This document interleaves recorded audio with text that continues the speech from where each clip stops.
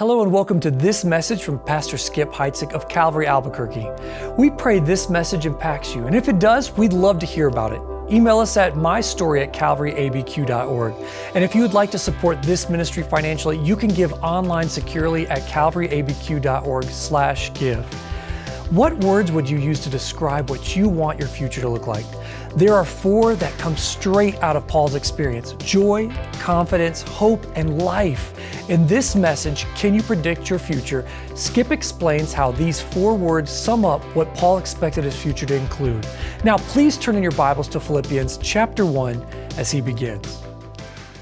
So, a golfer went to a fortune teller, and the golfer said, Hey, I have one question. Will there be golf courses in heaven? Fortune teller said, Well, I've got good news and I've got bad news. He goes, Okay, give me the good news. She said, The good news is in heaven, the golf courses are so beautiful, so magnificent, they're beyond human imagination. And he said, Well, how could there be any bad news with that? She said, "Well, the bad news is you have a game booked to start at 8:30 tomorrow morning." Predicting the future has been a favorite pastime for millennia.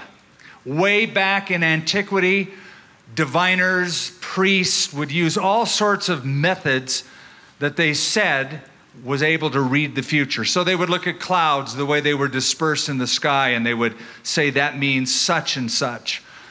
Or they would look at the way stars appeared in the sky and the galaxies, or drops of oil in water forming different patterns. Some even used the entrails of animals. If you can imagine putting an organ like a liver on a plate and the way it would wiggle and wobble, they would be able, they said, to predict the future. And it's people's desire to know the future that makes horoscopes still popular, or fortune tellers popular, or palm readers, or psychics, or weathermen. We want to know what is coming in, in the future. Now, all of those things are forbidden by Scripture, except perhaps for weathermen. But the reason they're forbidden in the Scripture is simple they're fake, they don't work. They're calling on nothing to predict the future that they don't know. It's just making a guess. Only God knows the future, and only God can predict the future. And we have looked at the great series, Against All Odds, of how God has fulfilled prophecy. But did you know that you can predict your future? You can predict your future. You can't predict future circumstances but you can predict future responses. I want you to see how Paul does it. In Philippians chapter 1, I'm going to take you back up to verse 18. He says, What then? Only that in every place, whether in pretense or truth, Christ is preached, and in this I rejoice. Now, look at what he does with the future. Yes, and I will rejoice for I know that this will turn out for my deliverance through your prayer and the supply of the Spirit of Jesus Christ. According to my earnest expectation and hope that in nothing I shall be ashamed, but with all boldness, as always, so now also Christ will be magnified in my body, whether by life or by death. For to me, to live is Christ, and to die is gain. Up to this point in Paul's letter to the Philippian church, he has been looking at past tense events. For example, in verse 3, Paul says, I thank God upon every remembrance of you. That's past tense. In verse 5, he is thankful for their partnership in the gospel from the first day until now. And in verse 12, he says, I want you to know the things that have happened to me have happened for the furtherance of the gospel. All of these are past tense experiences. Paul is in jail. He's writing to the Philippians about what happened to him in the past and what is happening to him in the present. Now he pivots and he looks to the future. And notice the words, for instance, in verse 18 Yes, I will rejoice. That's future. Verse 19, for I know that this will turn out. Verse 20, he says that in nothing I shall be ashamed. Also in verse 20, so now Christ will be magnified. Paul is now predicting the future. Now, the truth is, the future was uncertain for Paul. He did not know which way the winds of Roman justice would be blowing for him. He knew that he would stand trial, that was sure. But he doesn't know what's going to happen in the circumstances of life, yet he makes predictions about his responses to those circumstances. And I'll give you four words that sum it up. He predicts joy, he predicts confidence, he predicts hope, he predicts life. It's pretty good future, right? Those four things he predicts. You, if you are a follower of Christ, you can predict your future. You can predict, predict what your future responses will be. It's like that old Dale Carnegie saying you probably heard two men looked out from prison bars, one saw the mud, the other saw stars. So here's Paul the Apostle looking out literally from prison bars in Rome. He doesn't see mud, he sees stars. And he sees four stars to be exact. He sees the star of joy, the star of confidence, the star of hope, and the star of life. And we're going to be looking at each one of those today. Abraham Lincoln once said, The best thing about the future is that it only comes one day at a time. Well, that's good news, but it will come nonetheless. Your future is coming. What will it be like? I love what Corrie ten Boom used to say. She said, even though we don't know the future, we don't know what the future will hold, we know who holds the future. Because of that, there are four stars that you can see out from whatever prison you might find yourself in. Let's consider the first. Joy is the first. In verse 18, the last part of it, notice he says, Yes, and will rejoice. Now, let me just tell you something about the scripture in general. This letter to the Philippians is just that it is a letter. Paul did not write Roman numeral 1, period, 2, 3. He didn't write verse numbers, he wrote a letter.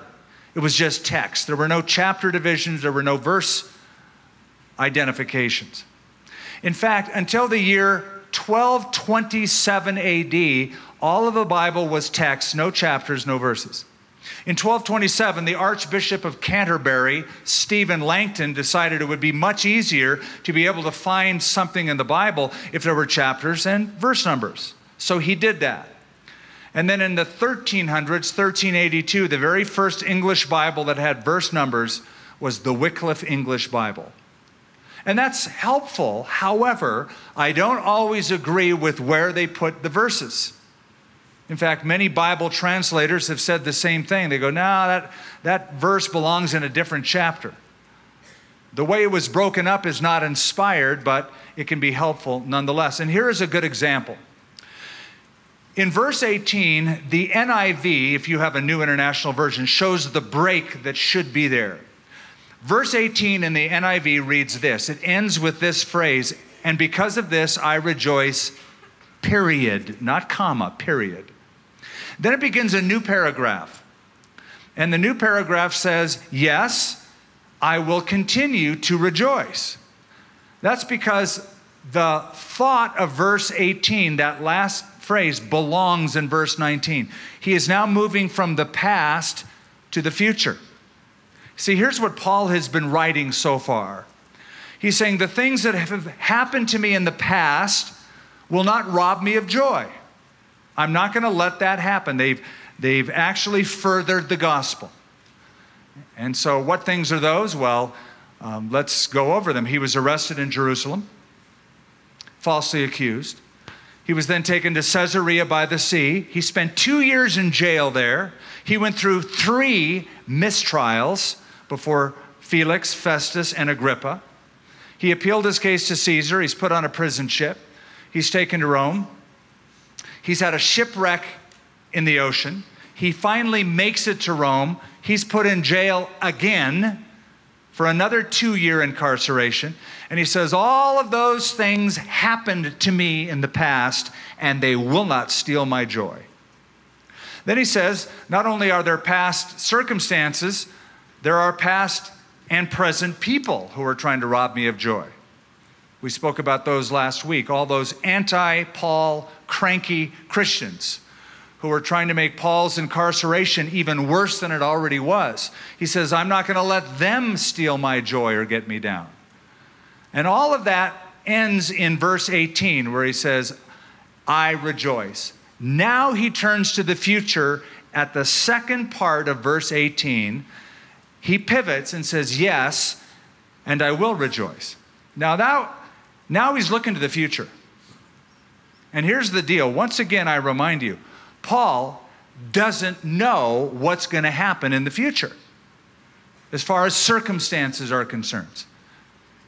All he knows is that he's going to stand before the Roman court for a trial.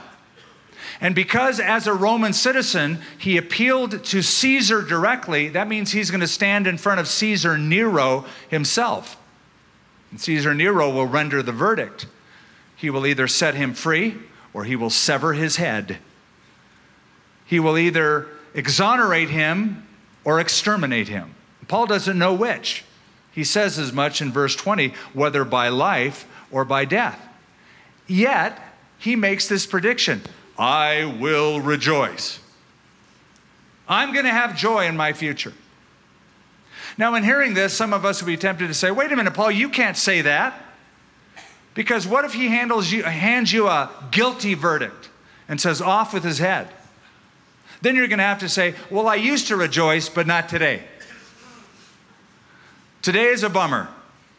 My bummer runneth over today. Paul says, no, I'm not going to say that in my future, whether by life or death, I will rejoice.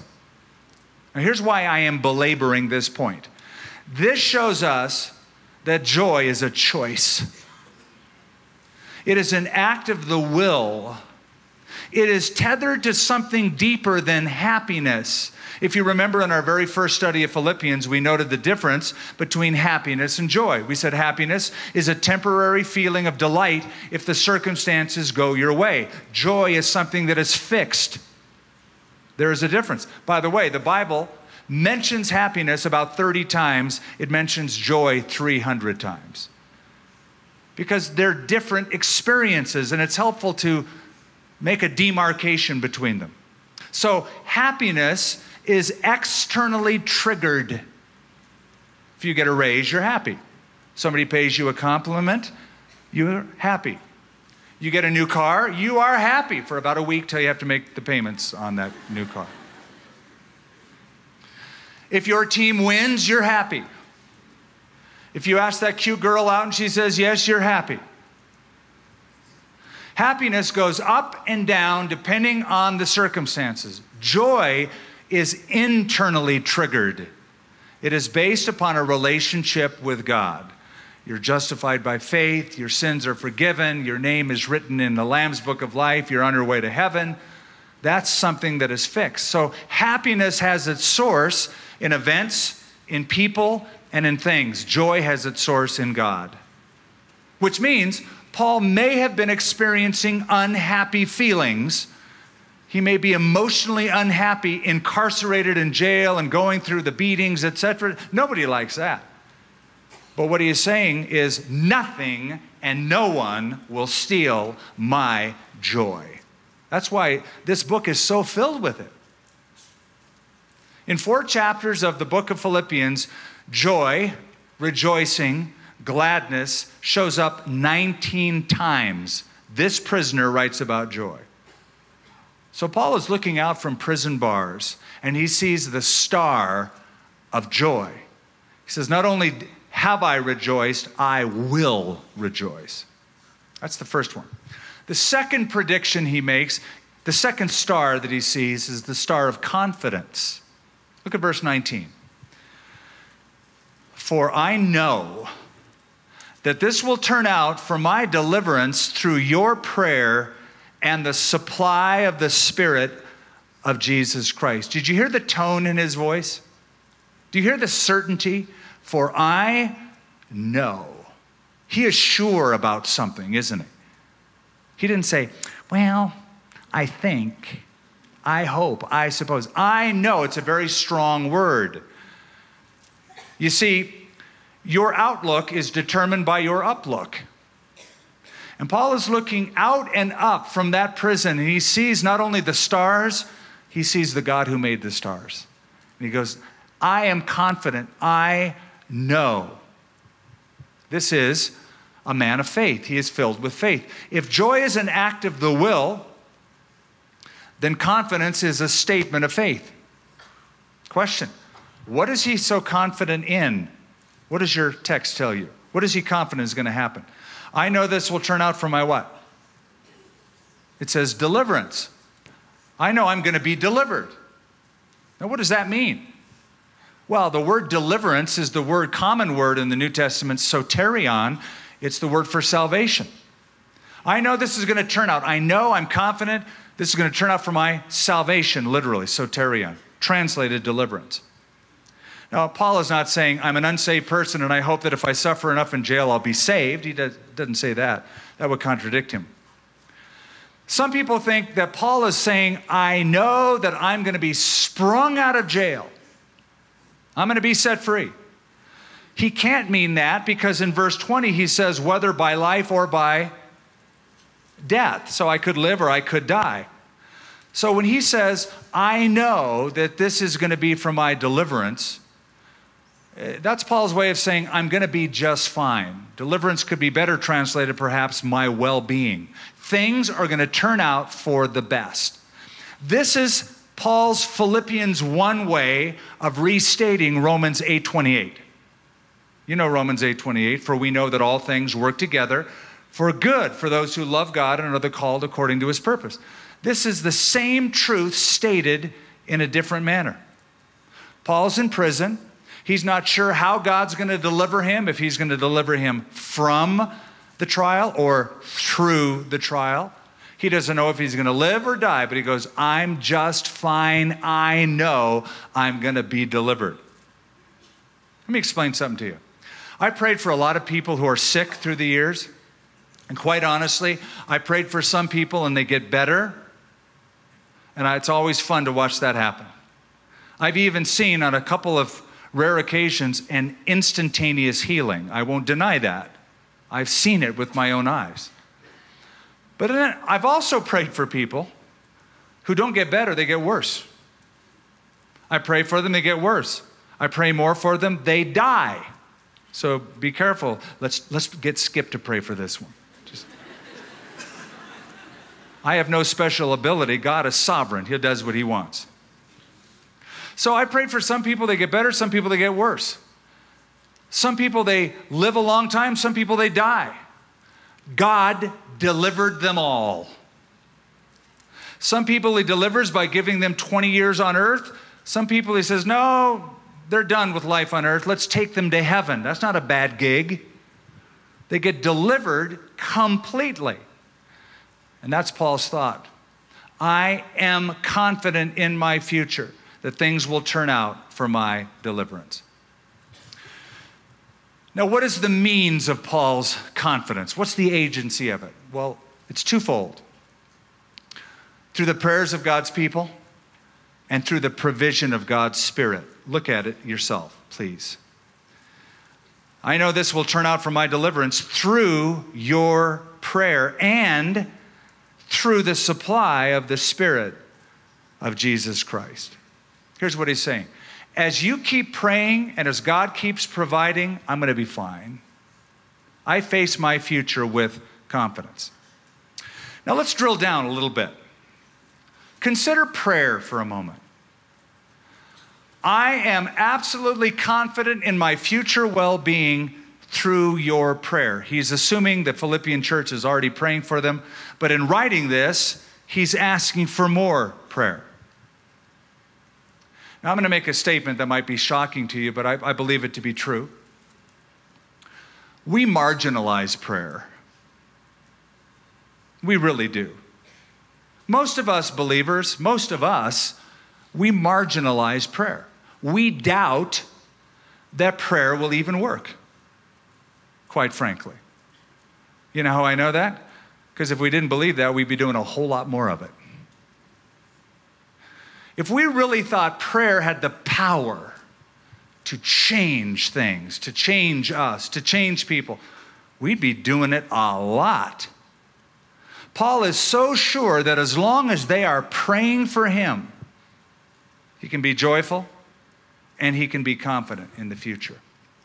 A few years back, I had the privilege of going to London and visiting Charles Haddon Spurgeon's church called the um, Metropolitan Tabernacle. And of course, Spurgeon lived in the 1800s, died. But his church still stands. It has survived wars, burnings, bombings. The facade is still there. The church has been rebuilt. But I loved going there because I remember all the stories, not only about Spurgeon and how many people came to hear him preach, but he, he would, if he took people on a tour of the facility, he would show them the great tabernacle where he would preach. But he took them to the basement where there was a little empty room, a meager room. And he'd point to the room and say, This is the powerhouse and the reason that this church is blessed by God. It was a prayer room. He said, When I preach, there's a group of people every service that meets in this room and they pray that the Spirit of God would be unleashed. This is the secret. This is the power. Leonard Ravenhill said this The church has many organizers, but few agonizers. Many who pay, but few who pray. Many resters, but few wrestlers. Many who are enterprising, few who are interceding. A worldly Christian will stop praying, and a praying Christian will stop worldliness. Tithes may build a church, but tears will give it life. Now, why should we pray? There's a lot of reasons. I'll give you just two. Reason number one spiritual work always requires spiritual tools. One of the most frustrating endeavors is to try to do a work of the Spirit in the energy of your flesh. You are doomed for failure. Second reason, it produces confidence, according to the text. I am confident through your prayers. It's a spiritual tool, it produces confidence, two good reasons to keep it up. So, one means of Paul's confidence is through their prayer. Notice the second, and the supply of the Spirit of Jesus Christ. The Holy Spirit will give you everything you need. Now, you see the word supply in that text? It literally means a lavish supply, a lavish supply. The Greek word is epikoregios. We get our word chorus from that. It literally means one voice upon another. So if Ryan stands up here singing, and Tamara stands up here and adds a harmony, and Stephen stands up here and adds yet another harmony, and their voices blend in melody and harmonies, first, third, and fifth, you are stacking up the voices. Then if you add a choir next to them, you have an epikoregios. You have a lavish supply of beautiful voices. So, what Paul is saying is this the reason I'm confident is because you keep praying and because the Holy Spirit lavishly supplies everything I need to handle the future. Here's the truth the hand of God will never lead you where the grace of God cannot keep you. He will lavishly supply what you need. You know Zechariah chapter 4, verse 6. You'll finish it as I start quoting it. It's not by might, it's not by power, it's by, say it, my spirit, says the Lord. Not by might, not by power, but by my spirit, says the Lord. So Paul is confident in the future. If there are praying friends and plenty of fuel, and the fuel is the Holy Spirit. So Paul looks out of his prison bars.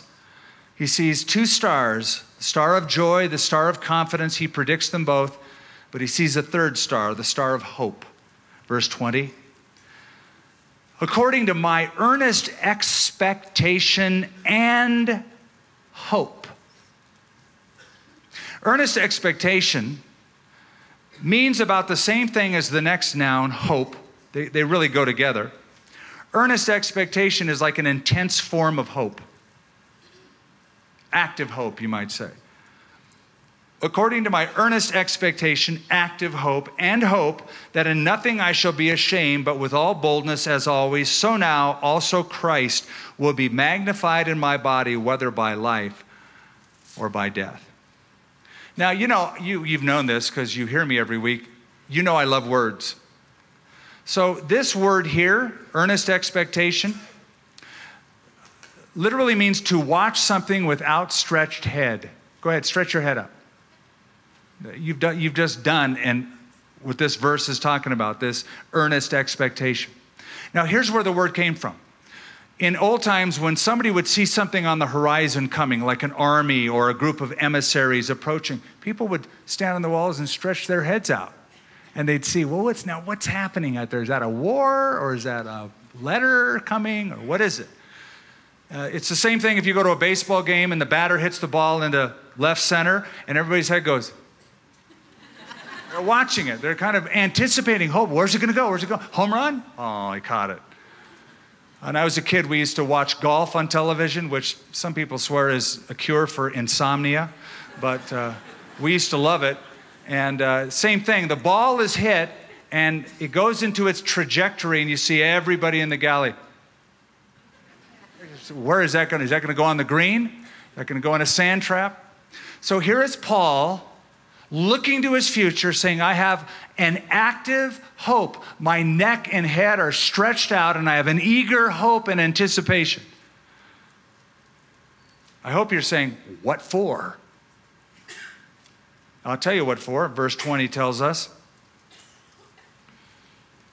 that in nothing I shall be ashamed, but with all boldness, as always, so now Christ will be magnified in my body, whether by life or by death. Here's what he's saying as I look to the future, the one great concern that I hope for more than anything else is that I will be a faithful witness for Christ that I won't be ashamed, but that I will be bold. It's amazing that he says this. He didn't say, I have one great hope, and that is that I get out of jail. I have one great hope that I can escape this pain and suffering. He says, I have one great hope, whether I live or die. I want to be a witness for Christ. I'm looking for opportunities to represent Christ. What I hope for is that I might express my faith and exalt my Savior. When I was a young Christian, I was morbidly afraid of witnessing to another person, telling them about Jesus. I was embarrassed. To be honest, I was embarrassed. I was embarrassed about the gospel. The reason I was embarrassed is because I was afraid that they would reject the message and that would make it seem like they're rejecting me. So I just held back for the first several months. It was very difficult. Then something kicked into gear and I could never shut up after that. Howard Hendricks put it this way In the midst of a generation screaming for answers, Christians are stuttering. I was stuttering. Paul is saying, My great hope for the future is that I will not stutter, but that I will be bold. It means to have freedom of speech. Bold. You know what? We need to be bold. While the world is breaking bad, we need to be breaking bold. That's what we need to be doing. Breaking bold. You know, the world, yeah.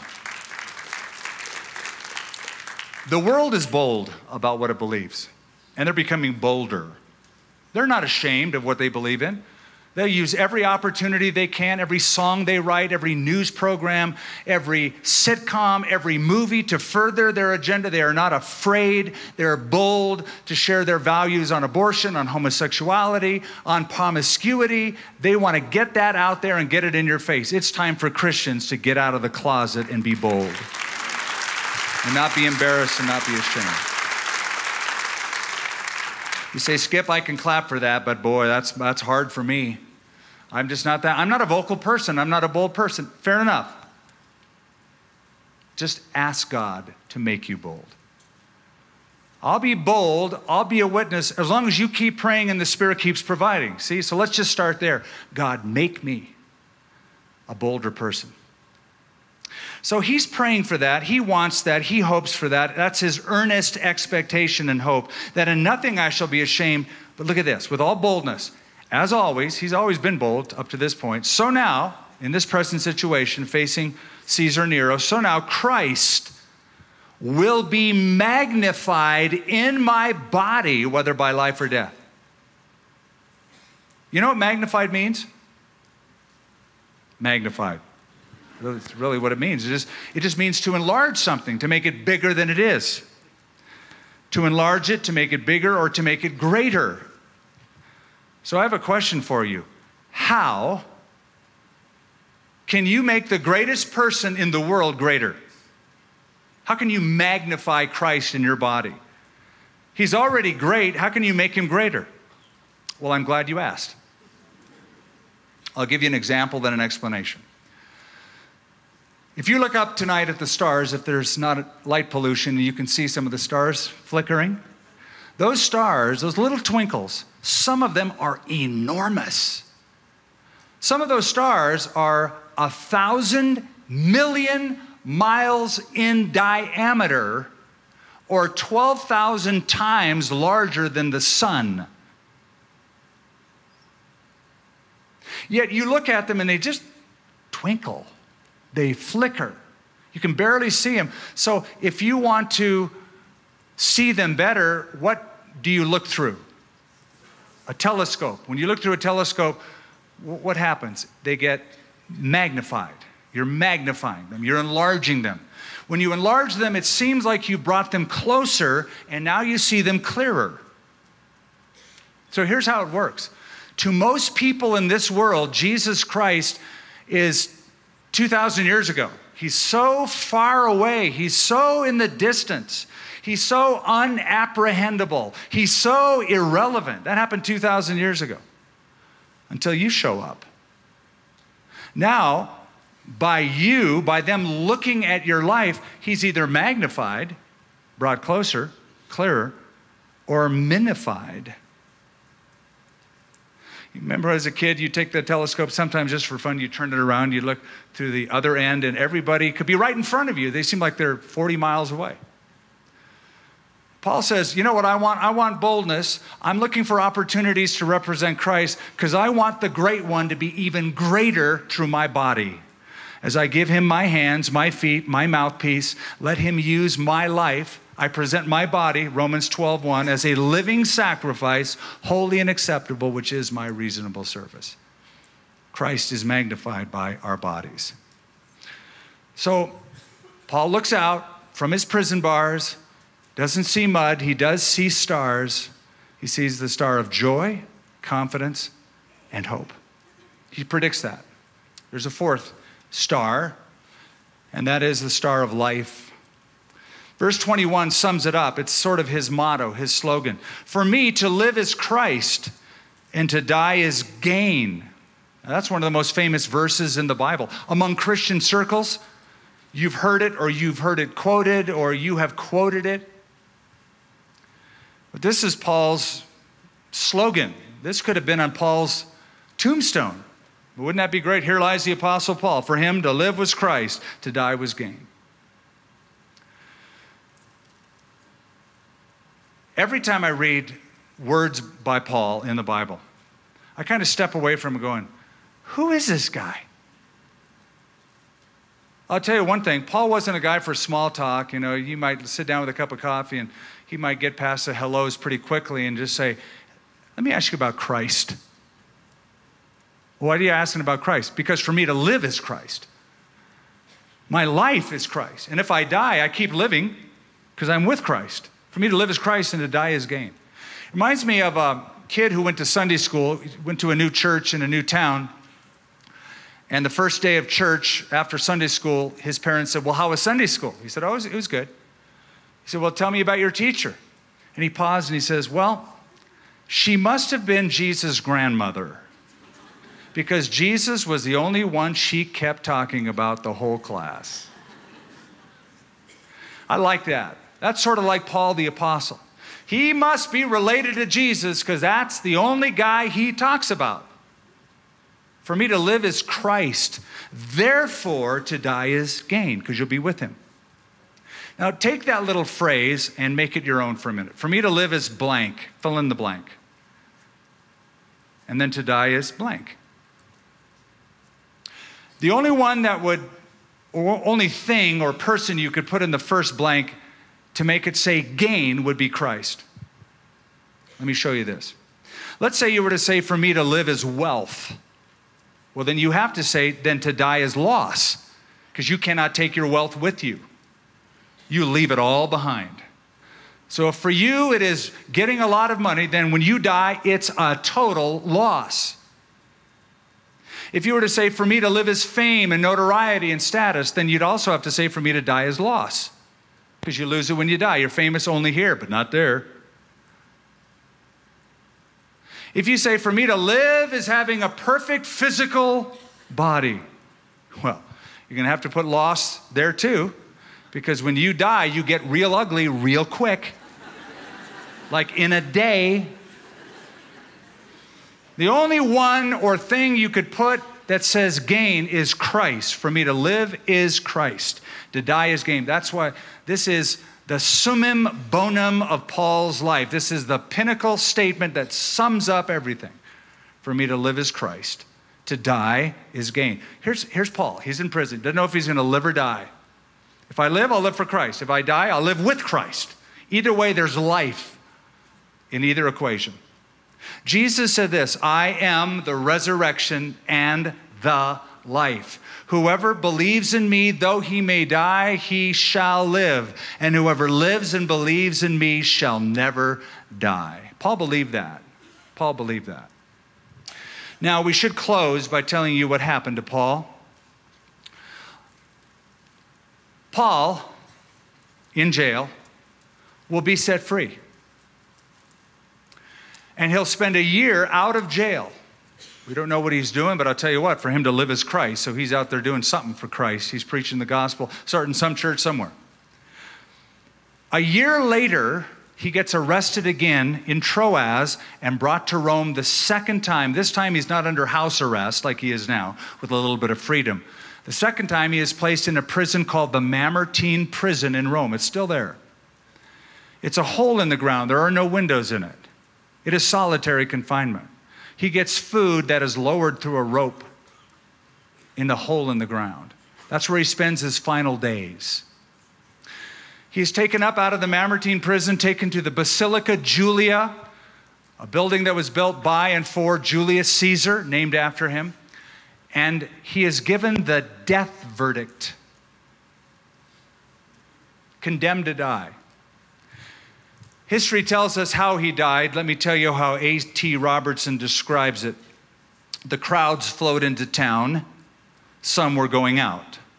Paul was only a criminal going to be beheaded. Few, if any, in the crowd would know or care anything about him. At a good place on the road, some miles out, the executioner stopped. The block was laid down. The executioner stood ready, axe in hand. The men stripped Paul, tied him, kneeling upright to the low pillar which exposed his back and his neck. The lictors beat him with rods for the last time. He groaned and bled from his nose and his mouth. And then, without a hint of hesitation, the executioner frowned as he swung the blade down swiftly, hitting its mark with a dull thud. And the head of the greatest preacher of the ages rolled upon the ground. That's how Paul died. Now, Paul said, For me to live is Christ, to die is gain.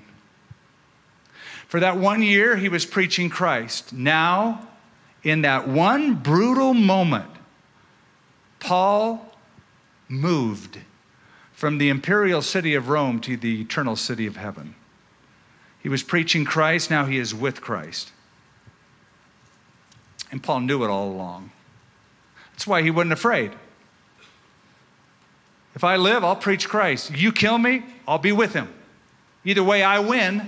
Either way, I'm delivered. Either way, I'm going to rejoice. I'm going to be confident.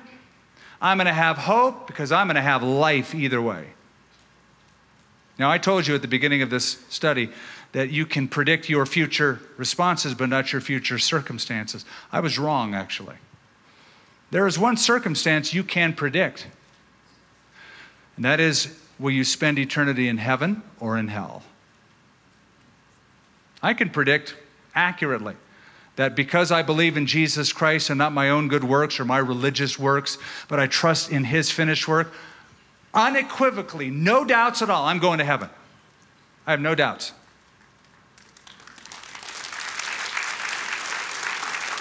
And many of you have those same set of confident hope that I have. Some of you don't.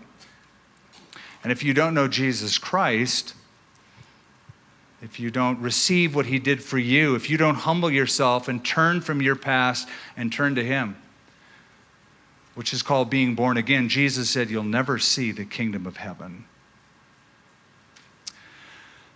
be a tragedy for that to be true in anyone here. So I want to give you an opportunity as we close on this welcome weekend to welcome him into your heart. Let's bow in prayer. Father, thank you for the love of Jesus Christ as seen in a man called Paul the Apostle. A man who believed the words that Jesus said that he was the resurrection and the life, that anyone who believes in him would never die. And though we might have physical separation from our body, our soul, our spirit lives on with you, awaiting resurrection. That's hope. That's enough to be confident in, joyful over, and to live for you because of. Lord, I just want to pray for anyone here who doesn't know Jesus personally. I've heard about him. They know people who love Him. They know some of the songs we sing that honor Him. They know certain facts regarding Him. And yet, they do not have a relationship with Him. Lord, would you change that? If you're alive, and we believe you are, Jesus, that means you conquered death. And every promise you made is going to come true. Because you proved the ultimate promise that you made came true, and that is you rose from the grave. And you're available to change lives. And I pray you change some here this morning with your head bowed, your eyes closed, I want to give you an opportunity to receive Christ. If you are not sure that if you were to die, you'd go to heaven, I want you to be sure. If you've been trusting in yourself, your goodness, your merits, your intellect, your sweetness, your personality, your church affiliation, your parental upbringing, but you haven't trusted personally in Jesus Christ, or you've been saying, I'm willing to turn from my sin and turn to Jesus as a Savior, I want to give you an opportunity to say yes to Him. I'd love to know who you are. I'd love to pray for you if you want to do that. I need to know who you are. So I'd like you, if you are willing at this moment, to turn from uh, your past and turn to Christ, to just simply surrender your life to Him. Would you raise your hand in the air? Just so I can acknowledge you. Keep it up for a moment so I can see it. God bless you to my left, and you in the middle, and you right up here in the middle in the front. Anyone else? Raise that hand up, please. Just saying in raising your hand, I surrender to you, Lord Jesus. I surrender my life to you. Just raise your hand up. In the family room, a couple of you.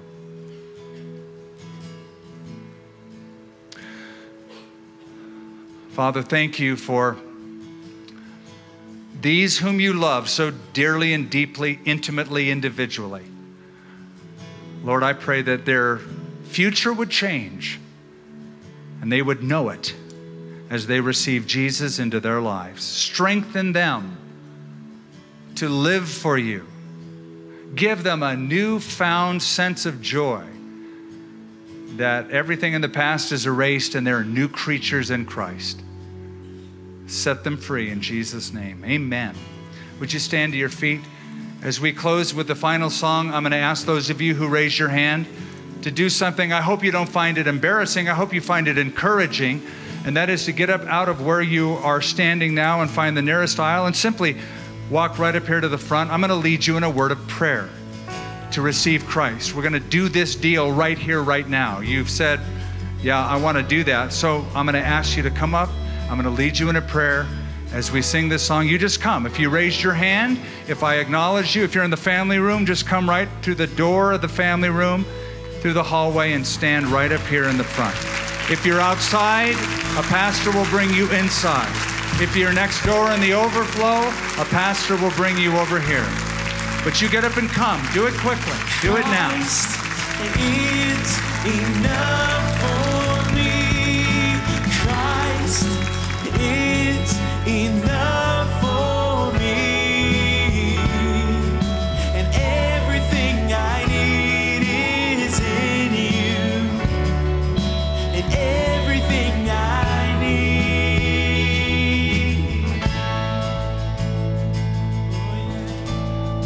Before I pray, just a word to those who may be actually needing to be here but aren't. I just want to encourage you to not watch this any longer, to be, be a part of it. Put yourself as the center of it. Jesus loves you, He died for you. God made you for Himself, for His glory. He wants to have a relationship with you. But the Bible says He knocks. He's a gentleman, you know. He knocks at the door of your heart. He didn't come in with a SWAT team and bust your door down. He just knocks. He says, I'll come in if you let me. If you don't let him, he won't come in. He's saying, Let me in. If you're willing to let him in, then you come. Get up out of your seat right now and just say, I'm coming. I need to do this. I have for a long time. I want my past erased. I want my name written in God's book of life. I want to go to heaven. Pure and simple. You get up and you come. Just say, Excuse me, if you're in the middle of a row, if you're in the balcony, come down, prayer room, doesn't matter where. Front row. Take a few steps forward. You just make sure that you know Jesus. If you don't, get down here.